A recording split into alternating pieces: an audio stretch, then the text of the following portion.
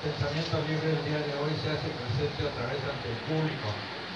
Pensamiento Libre es una logia que se ha preocupado por el público en general, por la gente. Es una logia que ha dado algo de, lo que tiene. No es mucho, pero algo hemos dado en pro de la ciencia, en pro de, los conocimientos, en pro de de la ciencia en general. El día de hoy nos es satisfactorio tener una conferencia que viene a uno de los enigmas que hay en el mundo, en la Tierra. Siempre hemos tenido el enigma del sabón perdido. No sabemos si somos changos o ya evolucionamos. No lo sabemos porque tenemos el sabón perdido. El día de hoy la conferencia magistral que nos presenta nuestro querido amigo, maestro Juan Barrio Gómez, nos va a aclarar mucho de esas dudas que tenemos como conocimientos perdidos en nuestra cultura. Queridos amigos, pues es satisfactorio el día de hoy tener la presencia aquí del licenciado José Luis Martínez Corona, de la Escuela de Máximo, que está presente con nosotros, con la cual solicito un aplauso.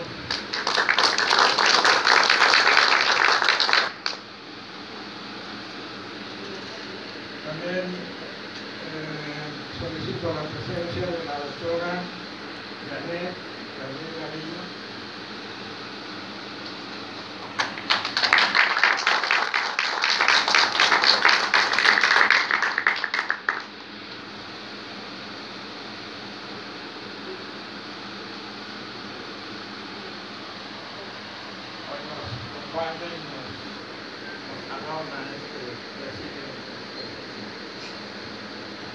También me es satisfactorio presentar al ingeniero Patrocinio Marcos Reyes, gran colaborador de esta logia en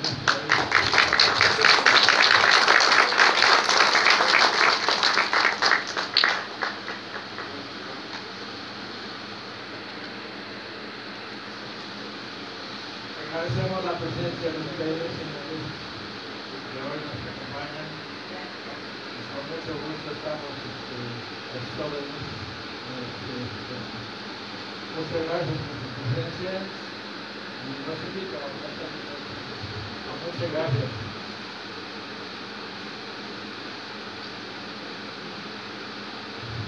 Sin alargo más, yo voy a dar la conferencia, ¿verdad?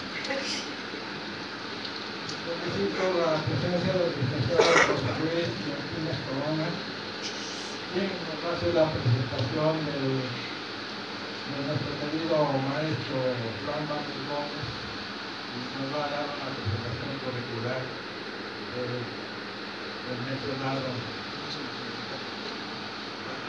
Muchas gracias. Buenas tardes a todos. ¿Se escucha bien? Sí. Me es muy grato en esta tarde eh, me haya tomado en cuenta para poder participar, dándoles a conocer el currículum de nuestro querido hermano Barrio Gómez, eh, hijo que me permito leerles a ustedes.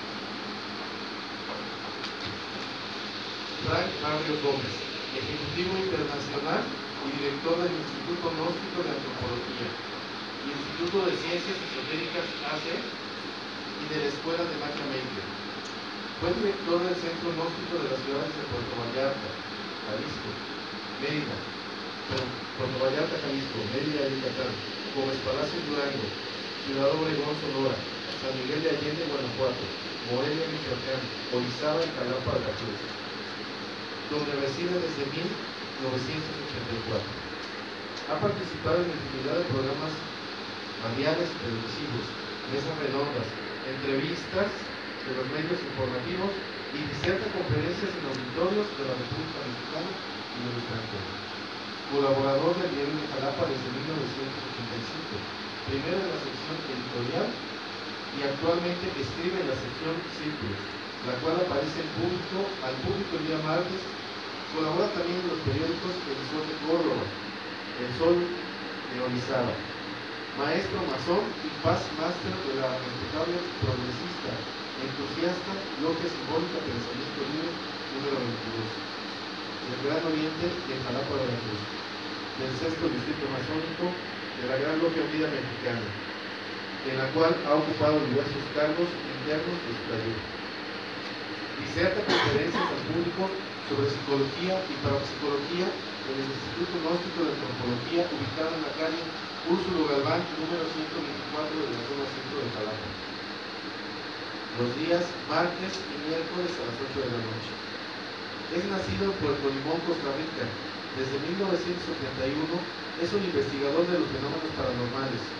Su línea de, estu de estudio es la parapsicología y radica en México desde 1978. Tiene cuatro décadas ininterrumpidas de experiencia en estos estudios y es maestro en ciencias esotéricas desde el mes de abril de 2006. Es ciudadano mexicano por naturalización. Desde el 20 de mayo de 2006 es maestro en ciencias esotéricas. Pablo Gómez formó la Escuela de Magia Maker, única en su género, donde se enseña a los alumnos todos los secretos relacionados con las ciencias esotéricas. Aquí aprenden a trabajar con las fuerzas invisibles de la naturaleza, eliminar trabajos de magia negra, salvaciones, chismes, envidias, atraer la fortuna para que la suerte les ayude y a invocar a los grandes maestros ascendidos, mencionados por las corrientes esotéricas. Esos conocimientos que fueron enseñados en templos iniciáticos de la antigüedad, como Shaolin, Memphis y Delfos, entre otros, son impartidos a los estudiantes aspirantes a magos los días sábados, en esta escuela de magia que tiene sus instalaciones en la calle Úrsulo Galán 124 de esta ciudad capital. Este es el currículum eh, resumido de nuestro ponente el día de hoy transformido de Carlos Gómez para que todos queden con Muchas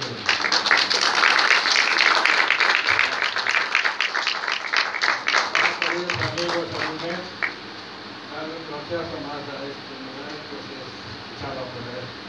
Por lo tanto, tengo el gusto y la satisfacción de pedir la presencia de nuestro querido maestro Frank Porfirio Barrio Gómez a este estado para que desarrolle la conferencia que la que vamos a disfrutar hoy.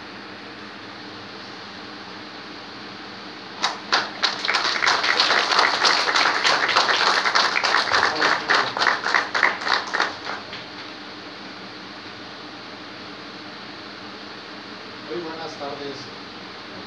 Buenas tardes. ¿Sí ¿Se escucha bien? Sí. En primer lugar, agradecemos la presencia de todos ustedes para esta conferencia que, como me decían algunos desde hace unos días, es bastante polémica. Sí. No decimos lo contrario. Lo único que yo les pido a ustedes es tener mente abierta, porque nada está escrito. Todos los días, la misma ciencia oficial se encarga, gracias a los nuevos descubrimientos, de ir aceptando aquello que en un principio no aceptaban. Pero antes de seguir adelante, quienes merecen el aplauso de esta tarde noche son ustedes. Un aplauso.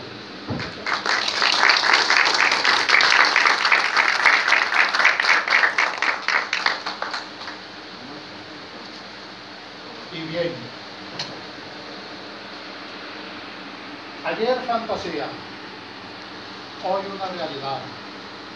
En ocasiones la fantasía se confunde con la realidad y la realidad viene siendo una fantasía. Muchas veces hemos escuchado el dicho de la vida es un sueño. Y claro, soñamos. Siempre nos pasamos toda nuestra existencia soñando. Hay que hacer algo en la vida. Nuestra vida es efímera. En estos momentos estamos acá y no sabemos si en este instante aquí nos vamos a quedar. ¿Y qué hicimos? ¿Qué nos llevamos? Hay personas que únicamente se dedican a almacenar tesoros como si los fuéramos a llevar al más allá para que en nuestra siguiente reencarnación traigamos un guardadito. Pero, pero no, es todo lo contrario. Disfrutemos la vida. Mente abierta. Los conocimientos que hoy ustedes van a escuchar son más arcaicos de lo que menciona el catolicismo. Siempre he dicho a mis alumnos, hay algunos que son muy cerrados, personas,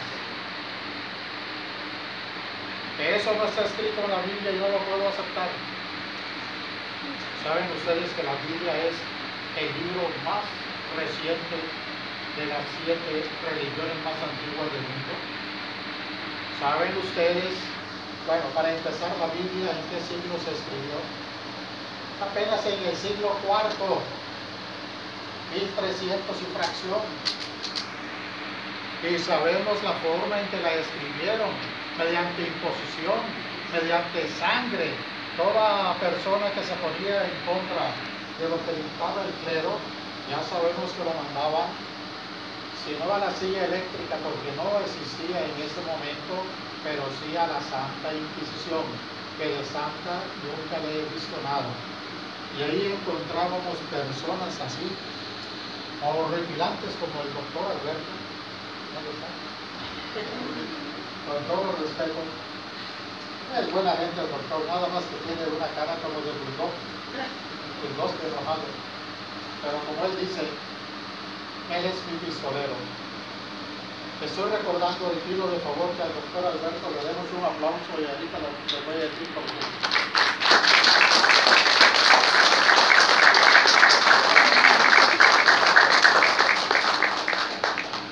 Alberto debería haber estado en Veracruz, Puerto, el día de hoy, ya que nuestro oriente masónico de este estado tuvo hoy una reunión a nivel estatal, pero él de antemano dijo, no me puedo dividir en dos. Siempre he apoyado a Frank y soy su pistolero. Por tal motivo me quedo para estar presente en la conferencia. Y aquí está. Muchas gracias,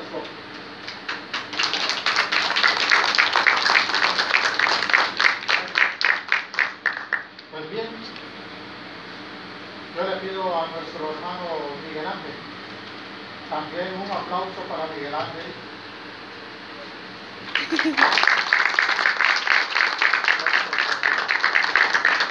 Él viene de parte del centro recreativo y te pedimos de favor que de parte de Pensamiento Libre número 22 le dé las gracias al maestro Alejandro Moreno director del centro recreativo, ya que gracias a él tenemos este espacio para el evento que estamos llevando a cabo.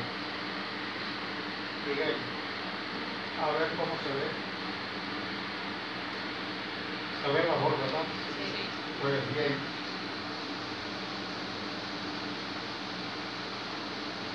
Un servidor que en otras partes ha estado presente llevando a cabo eventos, entrevistas, la televisora de Costa Rica, Canal 11, un programa que se llama Giros del Canal 6. Aquí estoy siendo entrevistado por el diario La Extra en San José, Costa Rica, y otra conferencia que impartí en la capital, Quinta. Nibiru, el tema de esta tarde, el doceavo planeta. Solo le pido de favor a los asistentes, quienes conozcan, quienes hayan escuchado este tema, levanten la mano. Muy bien, gracias. ¿Será una ficción? será una realidad. Si nos adentramos al aspecto bíblico, se menciona en la Biblia, sí, en la Biblia se le conoce como Ajenjo, en el Apocalipsis, aquel coloso de destrucción que vendrá de los cielos. Si nos vamos al aspecto científico, le llaman algunos el planeta X, otros el Horus, otros Nibiru. Pero la pregunta de los 64 mil pesos, ¿existe? La misma NASA ya tiene detectado a este astro colosal. Ustedes saben que la ciencia, por eso es ciencia, y por eso mis conferencias, yo me apoyo en la ciencia para que si alguien de los presentes me quiera rebatir que de dónde saco la información, la información que yo siempre expongo es en base a hechos científicos no a lo que Barrios Gómez imaginó, sino a lo que la misma ciencia ha llevado a cabo en sus notables descubrimientos. Individuo, encontramos que se habla, pertenece a un sistema solar llamado Kilo. ¿Qué significa la palabra individuo? El que transita, el que viaja, o el viajero. Y aquí estamos viendo nuestro sistema solar. ¿Cuántos planetas tenemos en el sistema solar? Hubo una pequeña controversia cuando en 1992, 99, perdón, se llevó a cabo la formación de la cruz cósmica, donde ocho planetas se alinearon en dirección al Sol el fenómeno fue visto en Europa, pero Plutón no se alineó. Pues bien, como WhatsApp yo les digo a ustedes y a mis alumnos que por más que le pidieron a Plutón, alíñate, no se quiso alinear y al poco tiempo lo desconocieron como planeta, argumentando que era algo muy pequeño y que apenas era un planetoide. Pero hará unos tres años, oh, la misma ciencia acaba de descubrir que Plutón es más grande de lo que se había imaginado. Y por ende vuelve a ser considerado como planeta. Así que nueve planetas. Ya Plutón, como quien dice, se redimió. A mí se me hace que Plutón es mexicano o tiene nexos con mexicanos. Se ha de haber puesto lo del con los de la NASA y ahora resulta que es más grande de lo imaginado.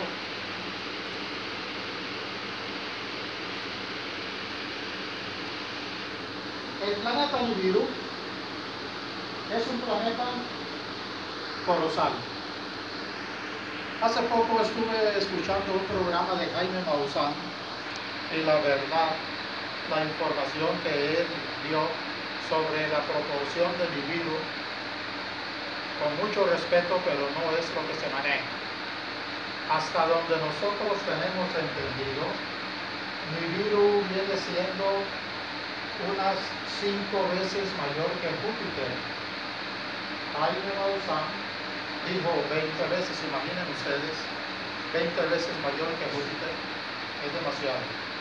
5 veces mayor que Júpiter. Nibiru, con su sistema solar, lleva a cabo una elíptica demasiado larga, pasando siempre entre, los, entre el cinturón, entre Marte y Júpiter, el cinturón de asteroides, cada 3.000 600 años. En estos momentos se habla que ya su cercanía está próxima. Incluso se muestran algunas fotografías, como veremos más adelante. Y también se dice y se le conoce como el planeta negro porque del todo no es tan denso como la Tierra. Pero, mira, aquí estamos viendo a nuestro titán, el planeta Júpiter, que podríamos decir que Júpiter viene siendo un sistema solar por la cantidad de lunas que giran a su alrededor pero es el coloso del sistema solar, Júpiter, y estamos viendo al planeta Nibiru. Y estamos viendo este puntito que viene siendo la Tierra. ¿Qué es la Tierra en el cosmos? La Tierra viene siendo un granito de arena y dentro de ese granito de arena viven unos seres que son tan presuntuosos, nosotros, que decimos ser los únicos con vida inteligente en el cosmos. ¿Será cierto? Si eso fuera cierto, yo diría que Dios se equivocó y sabemos que Dios no se equivoca.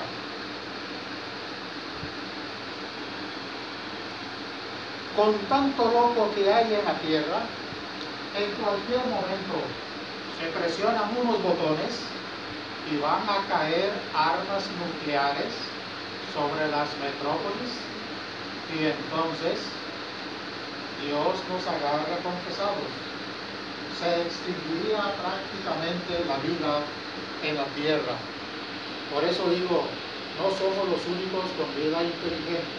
Y si esto fuera así, ¿por qué las ondas Pioneer 10 y 11 cuando salieron al espacio para perderse fuera del sistema solar, en su interior llevaban ciertos documentos como una placa en oro donde se aprecia el sistema solar al que pertenecemos, la ubicación de la Tierra, una pareja, además unas cintas llevando los principales idiomas de la Tierra, llevando música, para que si alguna inteligencia en el espacio llega a encontrarse a esas naves, sepan que hay alguien que los esté esperando y eso somos nosotros. Y esto fue un proyecto científico que se llevó a cabo. Aunque digan que no, pero están aceptando la vida inteligente fuera de la Tierra. Pues bien, volviendo a este caso, la Tierra cabe dentro de Júpiter 1300 veces aproximadamente.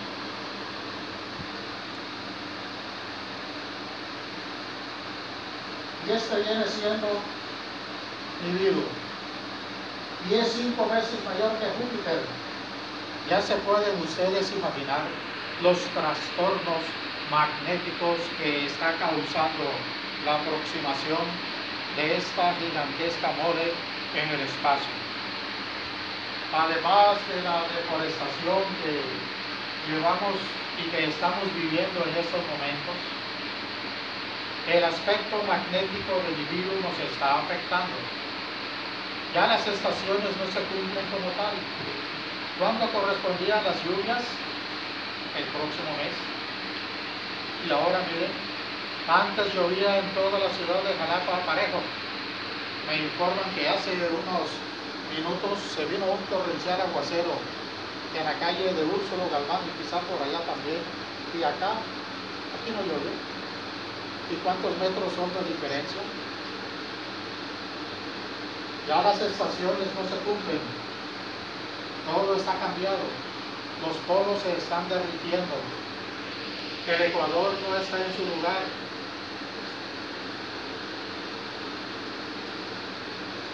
Es un verdadero caos donde estamos, lo que vivimos, pero es la única casa que tenemos en el espacio y hay que cuidarla. ¿Y qué hacemos para cuidarla? nada más se lleva a cabo un evento, no mencionamos tan lejos, los lagos, cada fin de semana. Y como ahí yo me presento a caminar, ya me hice rojo, ya no corro, ya para qué. Ya a mi edad, yo me alegro mucho cuando Sara Castillejos de Ramazotti me saludaba antes con mucho respeto y me decía venerable. Y yo, venerable por el puesto que tengo en la masonería, en la escuela de magia, en el instituto gnóstico, y me dice venerable ancianos. ¿Qué pasó, Sara? Pues imaginen ustedes cuántas veces va a caber la tierra dentro de este titán. Cinco veces mayor que Júpiter. Y la tierra cabe 1300 veces dentro de Júpiter. Personas con cámaras no tan sofisticadas han hecho esta, este tipo de tomas al amanecer y se aprecia como un pequeño sol. Ese pequeño sol, este tipo de fotos han sido analizadas y se afirma que se trata de Nibiru. A Nibiru se le puede apreciar en las noches estelares, pero todavía como una estrella insignificante. Yo les digo a ustedes lo siguiente, la conferencia no es para alarmar, todas mis conferencias siempre son para orientar. Sí, el aspecto que vivimos es preocupante, pero todavía esto no es para acabarse. El día de mañana que ustedes vean que un punto, una pequeña estrella comienza a agrandarse con el tiempo y llega al tamaño de la luna y llega a convertirse como un sol, ese día pónganse a rezar. Pero todavía no. Todavía sí, hay que rezar. Pero no seamos alarmistas. El mundo todavía no se acaba. Nos acabamos nosotros. ¿Cuándo se acaba el mundo? Se acaba para la persona que se muere. Pero en sí el planeta que se llegue a acabar, al menos que Mr. Trump y el de Norcorea, Kim Sung, que les ocurra por ahí aplastar unos botones y entonces sí, yo les diría, pongámonos a rezar. Porque el aire, los alimentos, el agua van a quedar contaminados. ¿Y de qué sirve quedar con vida? Si vamos a ver cómo nuestras carnes se van a caer en pedazos, como el Mahabharata y Ramayana, esos libros antiquísimos de India mencionan sobre una guerra atómica que se llevó a cabo hace varios miles de años, dando una descripción, argumentando que salió un disparo tan ensordecedor que deslumbró, incendiando todo aquello que llegó a impactar y que la gente veía cómo se le caían las uñas, la piel, el cabello, los dientes, y aquellos que no resultaron afectados, los soldados se metían a las aguas para lavarse. Se había levantado hacia el cielo un haz de luz, un hongo. No se necesita ser muy letrado para visualizar lo que sucedió hace miles de años. La tecnología que nosotros tenemos en estos momentos y que nos jactamos de ser lo máximo, ¿ustedes creen que es verdad?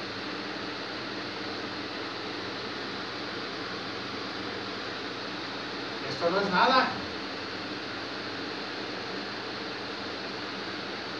Lo que veíamos en unas películas hace unos ¿qué? 30 años de James Bond, hoy en día todos los todos lo tenemos. Tenemos celulares, tenemos relojes que nos utilizamos como si fuera un celular. lo tenemos todo y aún así eso no es nada. Eso nos ayuda a hacer la vida más agradable. Pero no nos estanquemos en ello. Tampoco vamos a rechazar la tecnología. Porque entonces, ¿qué caso tendría? Argumentan algunos, es obra de Satanás. Si así fuera, ya yo hubiese hecho compadre mío a Satanás, porque imaginen ustedes, hay que pagarle a él por usar celular, por usar computadora, por tener ese proyector. No le echemos la culpa al diablo ni a Dios de todo lo que sucede. Cada quien es el arquitecto de su propio destino. Desde el año 2011 comenzó a circular en varias partes del mundo el que se escucharon y se siguen escuchando sonidos que algunos decían sonidos de los ángeles, sonidos provenientes de las alturas, sonidos celestiales. El 22 de agosto del 2011, un partido de béisbol en los Estados Unidos se tuvo que suspender ya para que los gringos hayan suspendido su partido de grandes ligas y todos volteaban hacia arriba. ¿De dónde vienen esos sonidos? Claro está que al poco tiempo, como siempre, aparecen los aviones y empiezan a dar infinidad de explicaciones. Pero cada quien acepta lo que le conviene. En febrero del 2012 en Canadá también se escucharon este tipo de sonidos. 29 de agosto en Kimberley. En Canadá, 7.30 creo que dice hora local. No se ha apagado acá. Ya se apagó. En Jerusalén existe un video que grabaron ya no que se pusieron a escuchar y fue de audio, fue un video. No se diga Rusia, también otro video. Y en Manchester, sonidos. ¿Y a qué le podemos atribuir el que se hayan escuchado estos sonidos? Dicen algunos, manifestación divina. Son los ángeles. Todo lo que se diga es una hipótesis.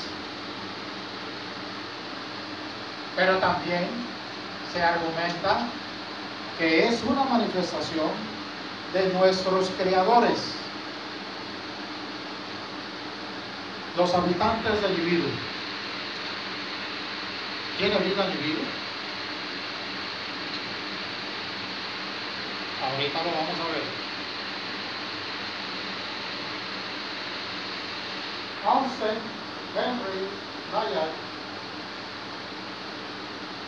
nacido en Francia, naturalizado inglés, fue el primero en descubrir, en escarbar en la ciudad de Nínive unas tablillas en arcilla, las cuales contienen el lenguaje sumerio.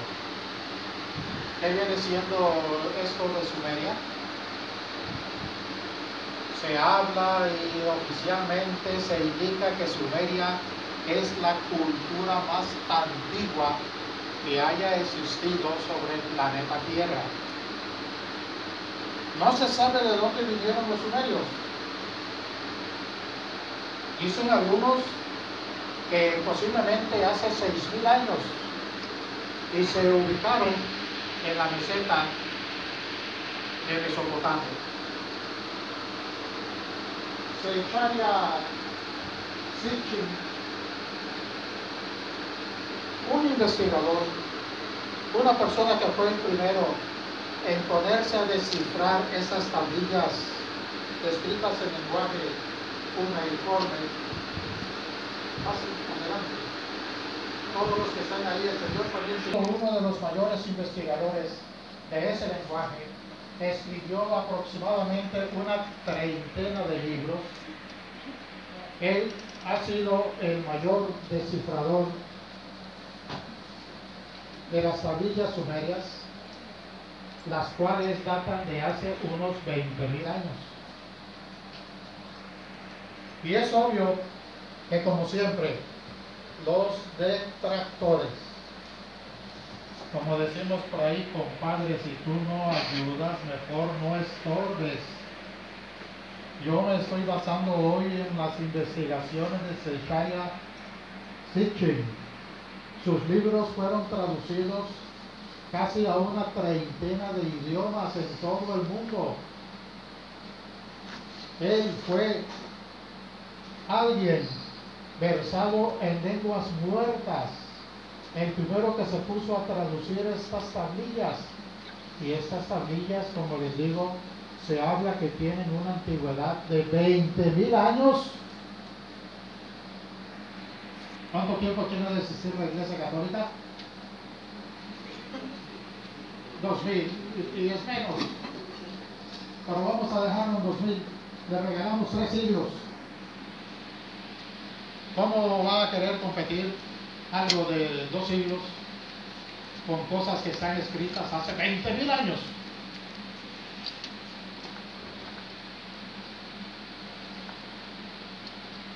En ningún momento estoy pidiendo que nos pongamos en contra del catolicismo. Somos católicos los aquí presentes, levantemos la mano. Prácticamente todos. ¿Ustedes fueron bautizados? No. Pues sí. Bueno, levanta la mano muchachos, no te dé pena. Somos católicos la mayoría, pero esto no quiere decir que ya saliendo de esta conferencia nos vayamos a convertir en otra religión. No, no es el caso. Hay que ser firme en sus creencias, porque todas las religiones adoran al mismo Dios. ¿Cuál es la mejor religión? La que llevamos en el corazón. Esta es la mejor religión.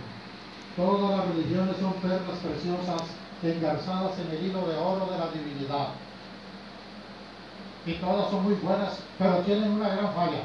¿Y cuál es esa falla? Sus dirigentes, seres humanos que anteponen sus intereses mezquinos. Si estoy mal, corríjame. Desde que yo lo estoy diciendo, nadie me ha corregido.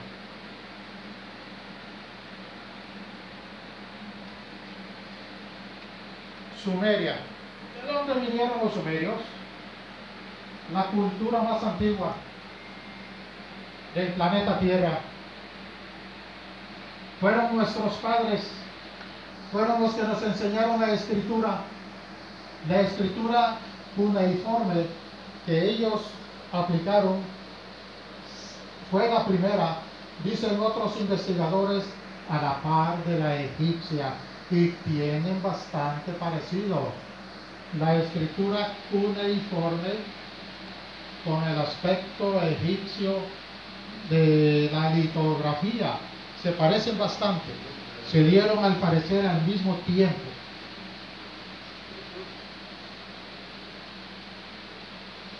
Y aquí estamos viendo el por qué le llamamos cuneiforme, como que fue hecha en base de cuñas, como que agarráramos la arcilla y le hiciéramos una especie de hoyos, le diéramos formas y todo esto, bueno, aquí puse esto para que vean el parecido que existe entre lo sumerio y lo egipcio.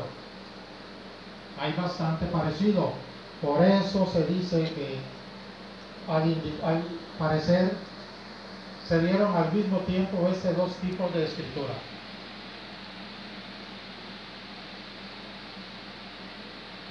Los sumerios se ubicaron entre los ríos Éufrates y Tigris.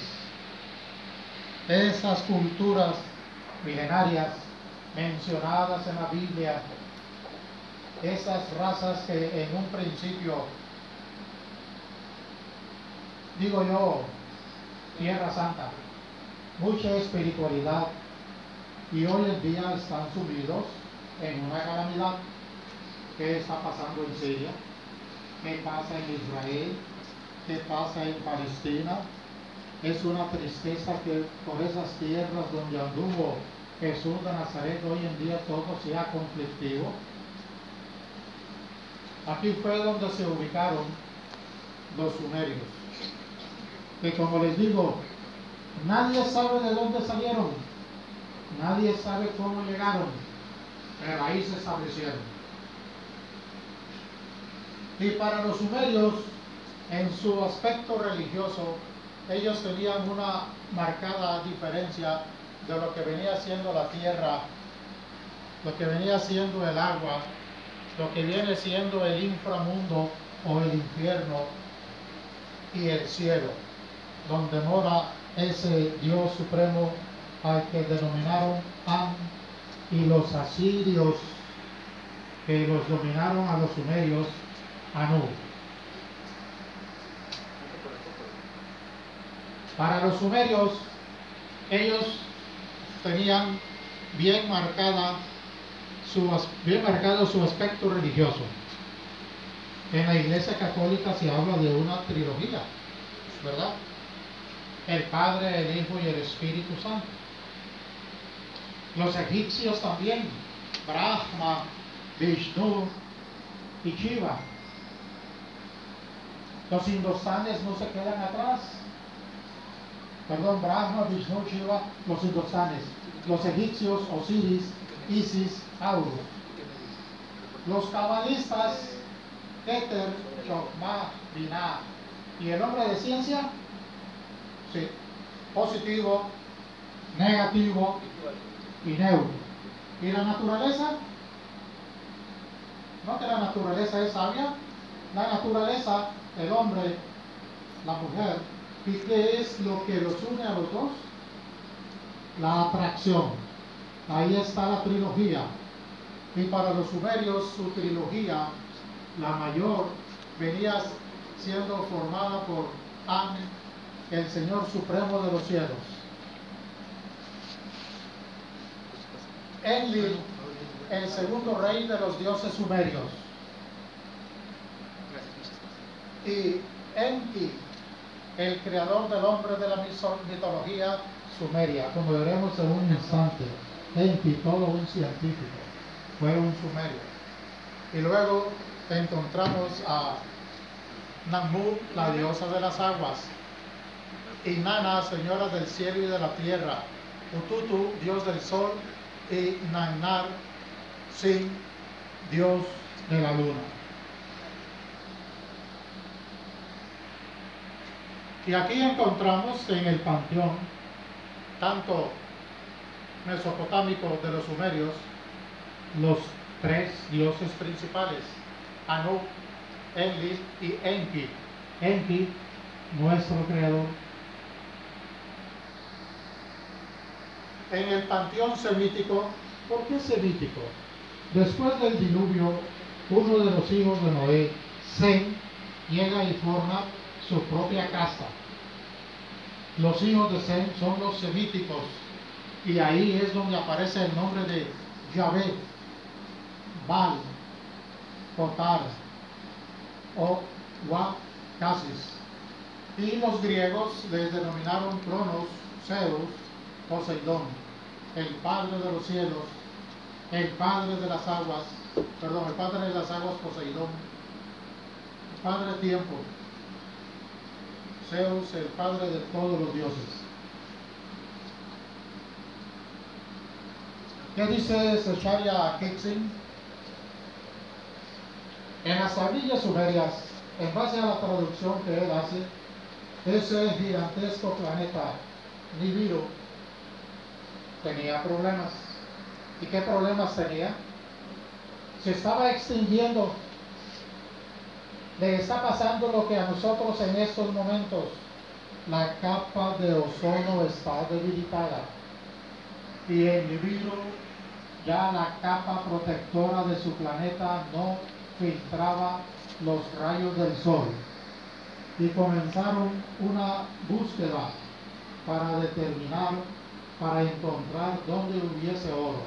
Y es así como llegan a nuestro sistema solar y forman una base en Marte.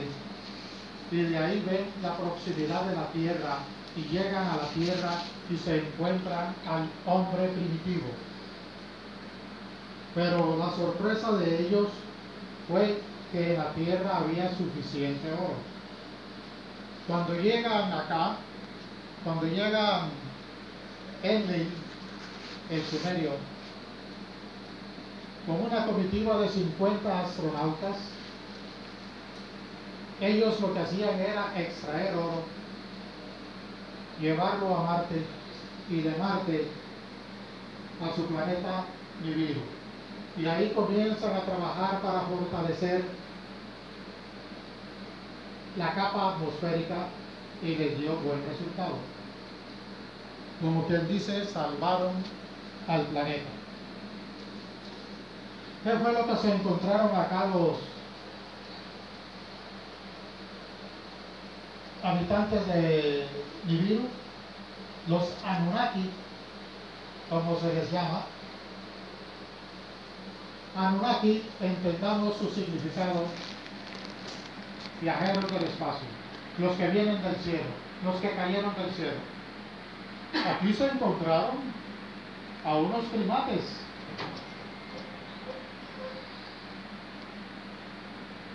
Y mientras aquellos que trajeron ellos del Nibiru tenían que estar trabajando en las minas y decían, este no es trabajo para los dioses. Vamos a llevar a cabo una mezcla genética para mejorar esta especie.